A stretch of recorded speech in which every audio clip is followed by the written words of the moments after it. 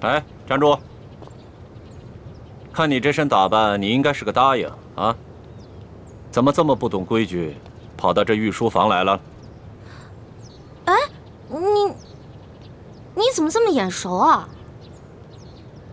啊，我想起你来了，原来你也是侍卫，在御书房当差啊？龙三呢？我要见龙三。你是？你忘了我了？大概三个月前吧，当时刑部正押着一群要犯，去菜市口斩首，咱们碰到了。当时你跟龙三在一起，想起来了吗？哎，小孩！哎哎，干嘛呢你？啊？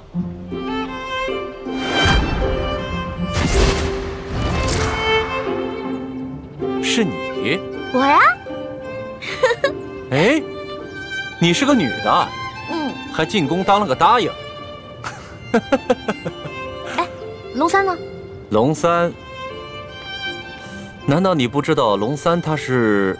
我知道啊，龙三他不是御前侍卫吗？在御书房当差。哦，他是这么跟你说的。嗯，我明白了。龙三他今天不在，你身为答应，也是后宫中的人，没有宣召呢，不得随便来到御书房，以免惊了圣驾。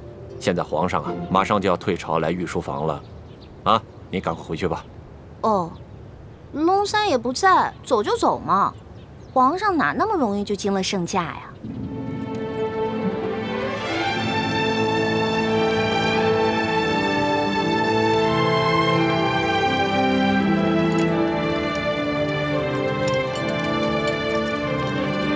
哎呦，皇上来了，快快快！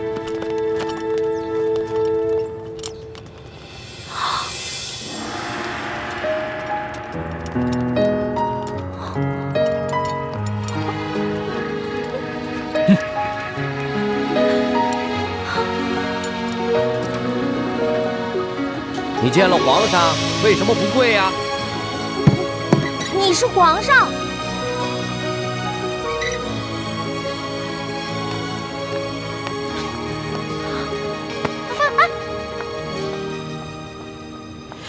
哎，李公公，这个小答应他可是……嘘，这皇家的事啊，别问，也别管。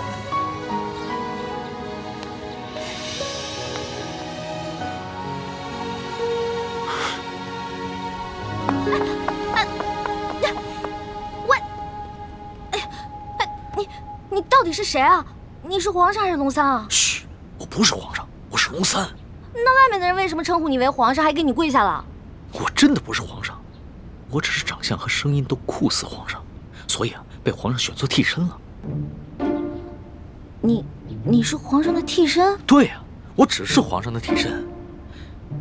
我们这大清啊，虽说入关数十余年，可是根基还未稳，这皇上又还年少，刚刚亲政不久。不管是那些前明余孽，还是那些妄想谋朝篡位的权臣，都有暗杀皇上的企图。就拿这个鳌拜来说，连顾命大臣苏克萨哈都敢杀，还勾结内侍给皇上下毒。所以啊，皇上时常让我扮成他的样子。我就说嘛，你吓死我了！你怎么可能是皇上呢？你要是皇上的话，怎么可能半夜三更的去御膳房偷东西呢？嗯，还跟我结拜兄弟了，是不是？嗯，对对对。所以皇上三日侍寝不肯让我看他的样子，一直戴着面具，就是怕我发现，是不是？对呀。所以你现在知道了，为什么你在宫里面打听不到侍卫龙三这个人？因为我不是普通的侍卫，我不站班啊，我只是在必要的时候出来替皇上一下。那也就是说，你是皇上的替身，那就得替皇上挨刀子了。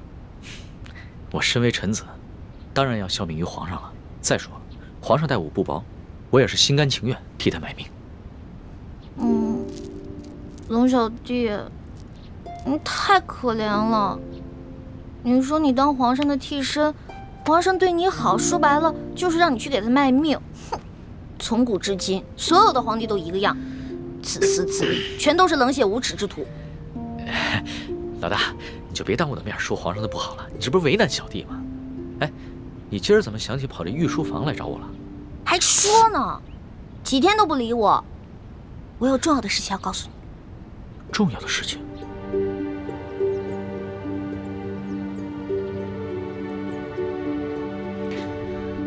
这皇上一听说丽妃遇刺，就怀疑过鳌拜，没想到真的是他。可不是嘛，这个鳌拜勾结内侍，行刺嫔妃，简直是胆大包天，把皇上都不放在眼里。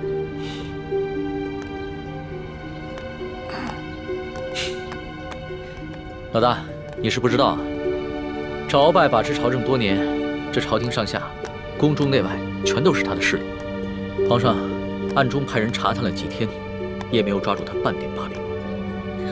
那难道就这么算了？小不忍则乱大谋，眼下还不是跟鳌拜翻脸的时候，所以只能当做暂不知情了。这个鳌拜贼心不死，还逼着我哥哥要去刺杀厉贵人。你务必跟你哥哥说一下，千万不要听命于鳌拜。皇上已经在暗中想办法铲除鳌拜了，所以要拜托你哥哥多跟鳌拜周旋一段时间了。哎，放心吧，我哥哥啊肯定不会助纣为虐的。不过你说这个小皇帝他的计划可行吗？会不会很危险啊？老大，这皇上呀可不是你想象当中的那个风流好色之徒。他呀虽然年少，但是有勇有谋，也算是一代明君吧。龙小弟啊，你就是天生当奴才的命啊！我说，都这个时候了，还替你那个皇上主子说话呢，他能有什么很高明的策划呀？按照我的想法，他呀就是不把你的命当命，关键时刻让你去给他当替死鬼，知道吗？老大，你就别当着我的面说皇上的不好了，你这不是为难我了吗？行，我就是因为把你当兄弟，所以我跟你说话才不避讳。既然你不想让我这样说的话，那以后去捡好听的、假的话跟你说呗。好了，我这气量没那么小，岂会连一个小姑娘的口无遮拦都容不下？我知道，你之所以骂皇上，是因为担心我的安危，对吧？当然了，龙小弟，在这个世界上，除了我的亲人，你就是我最亲的人了。你听我的啊，你可千万别因为什么你的皇上、你的主子去卖命，关键时刻。你得记得保护好你自己，千万别愚忠，知道吗？好，你就放心吧。我可以悄悄的把皇上的计划告诉你。你把皇上的计划告诉我，这么重要的事儿，你不怕我卖了你啊？在这皇宫里边，除了皇上和太皇太后，你就是我最相信的人了。谁让你的心思最为单纯？